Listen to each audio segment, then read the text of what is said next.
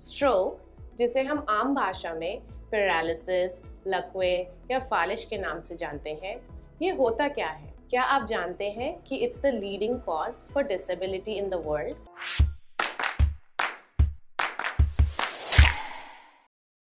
Hi, I'm Dr. Mekhla Chandra and I'm a senior consultant in medicine. आज हम बात करेंगे ब्रेन स्ट्रोक के बारे में उसके वार्निंग साइंस एंड सिम्टम्स के बारे में और इसको प्रिवेंशन कैसे कर सकते हैं। सबसे पहले जानेंगे कि स्ट्रोक होता क्या है। स्ट्रोक को हम ब्रेन अटैक कहते हैं और ये दो टाइप्स का होता है स्कीमिक या हेमरेजिक स्कीमिक स्ट्रोक में blood vessels of the brain clot हो जाती है या घमनी किसी भी कारण से क्लॉट हो सकती है और उससे ब्लड सप्लाई रुक जाती है उस ब्रेन के पर्टिकुलर एरिया में। दूसरा टाइप ऑफ़ स्ट्रोक यानी कि हेमरेजिक स्ट्रोक होता है कि किसी कारणवश आपकी ब्लड वेसल्स फट जाती हैं या लीक होती हैं जैसे कि in situations of high blood pressure stroke कभी भी किसी को भी किसी भी एज में हो सकता है। इसके वार्निंग साइंस एंड सिम्टम्स जानना बहुत ज़रूरी है क्योंकि इससे आप किसी की लाइफ भी बचा सकते हैं। सो so, स्ट्रोक के सिम्टम्स क्या हैं? इसे अमेरिकन स्ट्रोक एसोसिएशन ने एक न्यूमोनिक के रूप में प्रेजेंट किया है।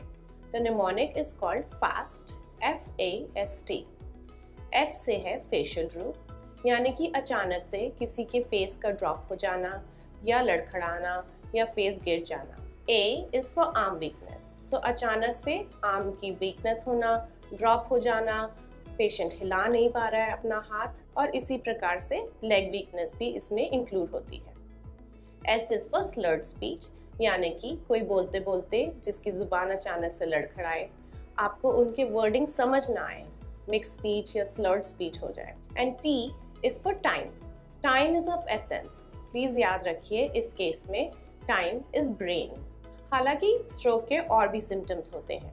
जैसे कि अचानक से कन्फ्यूज़न हो जाना, किसी को बेहोशी हो जाना या चक्कर आना.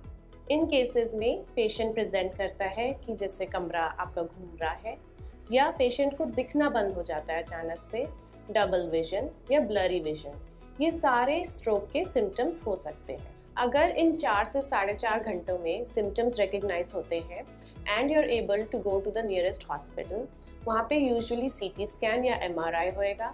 उसमें अगर क्लॉट आइडेंटिफाई होता है ब्रेन में तो एक स्पेशल दवाई दी जाती है जिससे ये क्लॉट डिज़ोल्व हो सकता है। और ये दवाई within four and half hours maximum respond करती है। आइए बात करें प्रिवेंशन की। स्ट्रोक को प्रिवेंट करने के लिए मेनली होता है लाइफस्टाइल चेंजेस जैसे कि किसी को डायबिटीज़ है तो उनकी शुगर कंट्रोल करें। ब्लड प्रेशर है तो ब्लड प्रेशर कंट्रोल करें। कोई भी हार्ट इशू है तो कार्डियोलॉजिस्ट को दिखा के उसको एड्रेस करें।